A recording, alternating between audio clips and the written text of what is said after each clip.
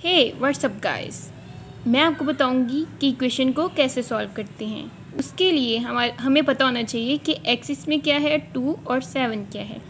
X हमारे पास क्या है वेरिएबल ठीक है? इसकी वैल्यू हमने निकालनी होती है टू और सेवन हमारे पास है कांस्टेंट हम लोग इसको सॉल्व करते हैं इक्वेशन को, क्या करेंगे? एक्स को यहीं पे रहने देंगे सेवन को भी यहीं पे रहने देंगे टू यहाँ पे प्लस हो रहा है, इधर आके क्या हो जाएगा? माइनस हो जाएगा।